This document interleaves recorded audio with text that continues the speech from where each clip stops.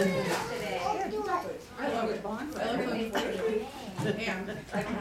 that one. Oh, you can have that. They share all their, you share your microbes, I know.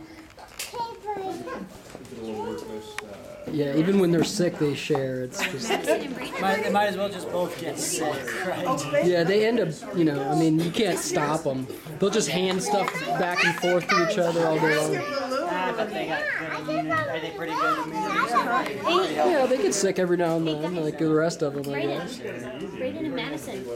We're gonna take a seat now, okay? Oh, sit down. So you guys sit down, okay? I haven't done before.